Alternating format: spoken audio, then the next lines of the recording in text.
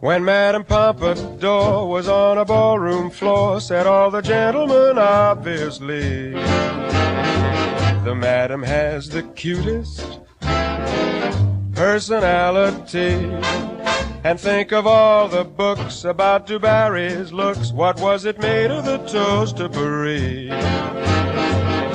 Had a well developed personality. What did Romeo see in Juliet or Piero in Pierrette or Jupiter in Juno? You know.